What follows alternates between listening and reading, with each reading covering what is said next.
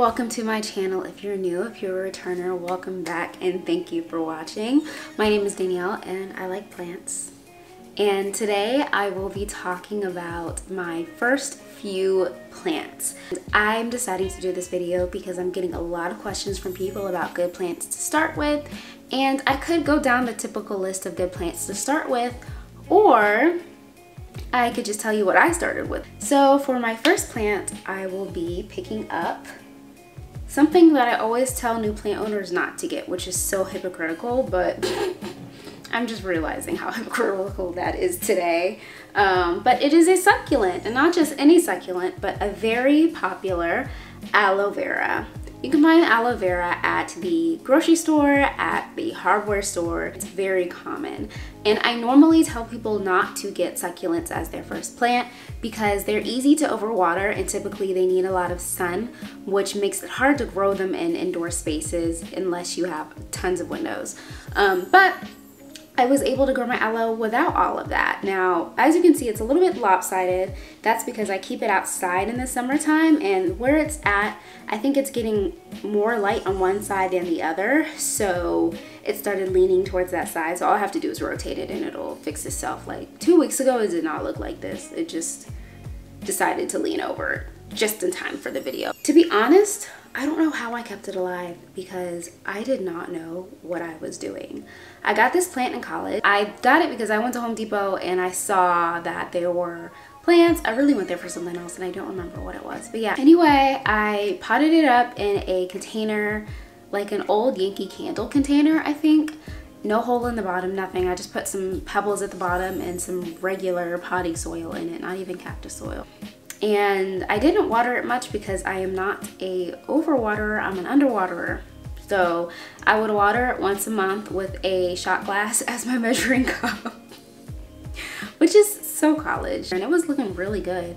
And then I took it home after college and that's where it just spiraled downward. Um, my cats kept knocking it over. I left it outside when it was freezing once. It looked like a spider afterwards. It, there was just a lot going on with this plant. And I was like, you know what? I've had this plant for years. I need to figure out how to take care of it. Eventually, I moved it all over the place, put it in a new pot, putting it in good potting, potting soil. What is this? It's like regular potting soil with a little bit of cactus soil and sand and perlite and some cactus fertilizing beads in here. And yeah, I stuck this thing outside and it started doing a lot better. so anyway, that's how I kept this plant alive. oh my gosh. I just screamed because I looked in the soil and I see a baby!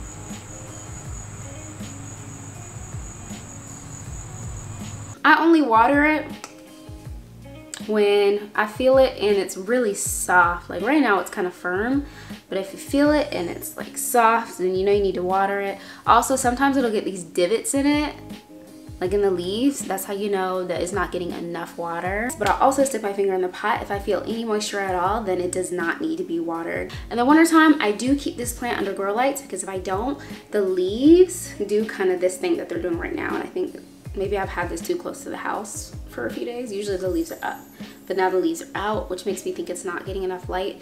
Um, because when the leaves start laying out, that means, hey, I'm searching for light. Where's the light? Is it down here? Why would it be down here? I don't know. Really, you want light to be coming from above so that the leaves go up and they're happy. So that is how I kept Miss Aloe Planty alive. I'm so proud of you, beep Plant number two is actually a plant that I got from my brother. This is a Pilea peperomioides and it is a super easy plant to take care of and also super rewarding because it's very cute. Like look how cute it is. It is adorable. This is also called a UFO plant or a Chinese money plant. I kept this plant alive by the grace of God, to be honest. I didn't know what I was doing, and that's the thing about this plant stuff. It's all trial and error. You see how I started off with really low cost and free plants first. When I first got this plant, I had it in a potting mix that was too draining. I think it had sand and perlite in it, and it did not grow for like six months. I took a spoon, like a plastic spoon, I scooped out the top of the soil and I put peat moss um, at the top of the soil because peat moss holds a lot of moisture. and I just put it back on the windowsill and it started doing so much better. You want to give it some bright indirect light. I know that it's ready to water when I stick my finger in and the top inch of the soil is dry. Pilea peperomioides is a great starter plant and you might be able to get one for free from one of your plant friends. Like ask around. So my third plant is another, yes, free plants. I did not pay for this plant, um, but it is a great starter plant and it is called the snake plant. So I kept this alive by doing nothing to it.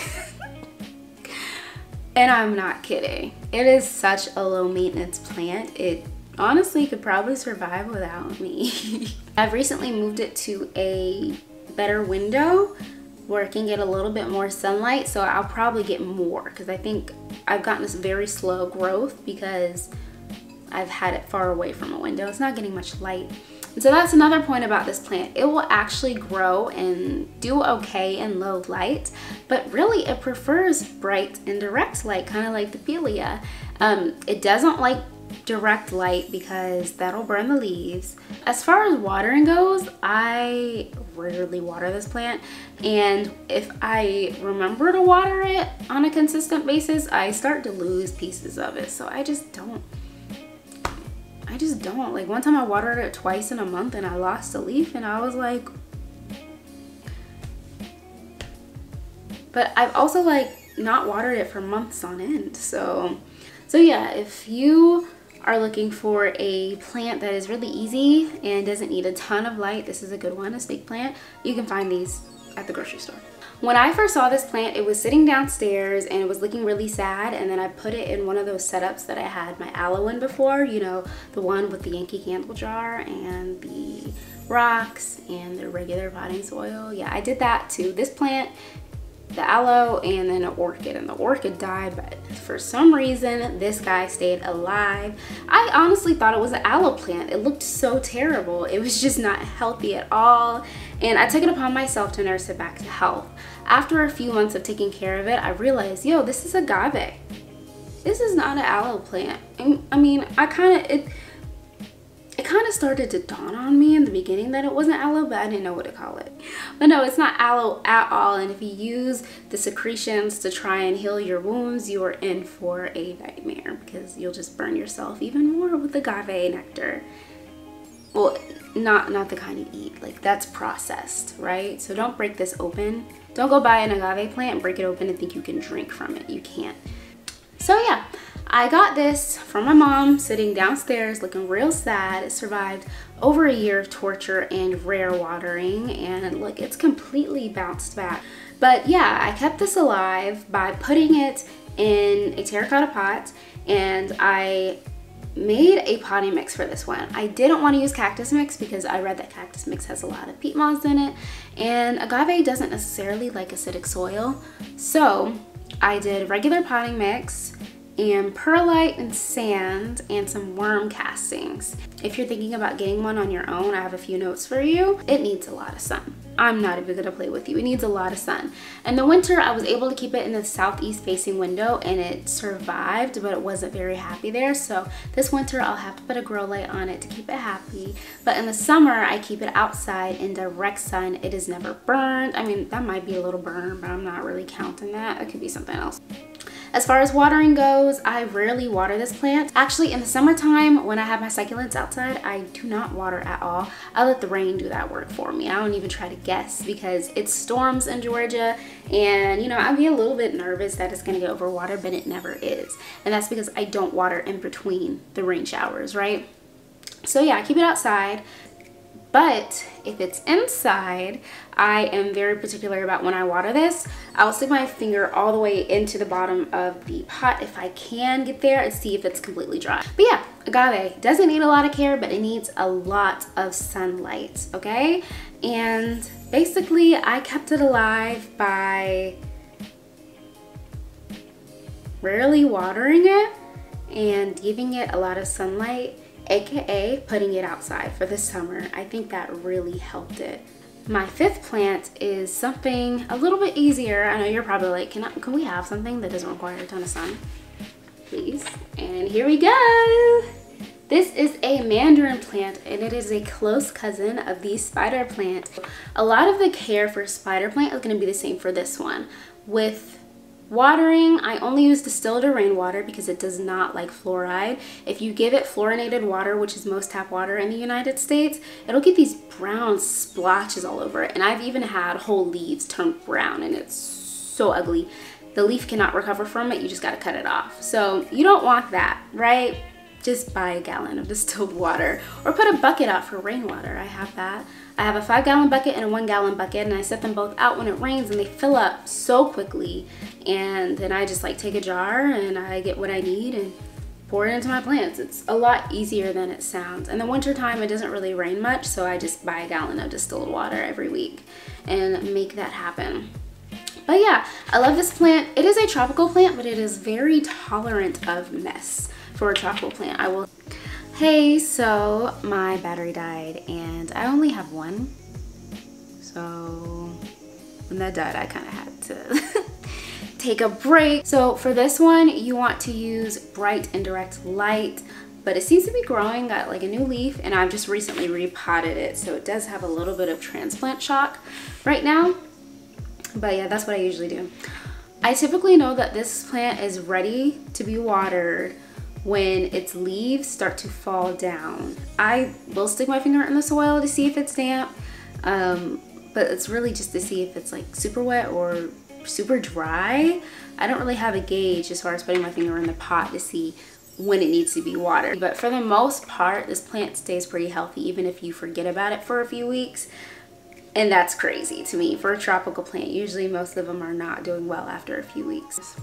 One thing I do like about this plant is that it flowers once a year and so there are some flowers in here. They're not very pretty but yeah the flowers are full of seeds and if you're not careful they will drop in the pot and grow a bunch of these little plants. So I have about 20 just sitting on my porch and I'm waiting for them to get big enough to go and give to other people because I don't think I want to sell them. Maybe I'll sell them so yeah very very cute plant very easy plant um, very forgiving plant. That's the best part about it yeah. And last but not least, this is actually one of my favorite plants. This is a Euphorbia milii, I think, which is also a crown of thorns plant.